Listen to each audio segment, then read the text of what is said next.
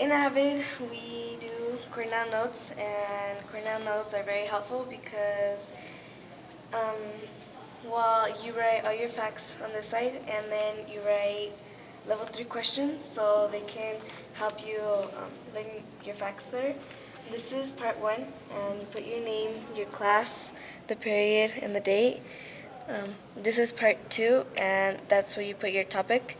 This is part 3, and that's where you write all your facts. This is part 4, and that's where you write your questions. And this is part 5, where you write your summary.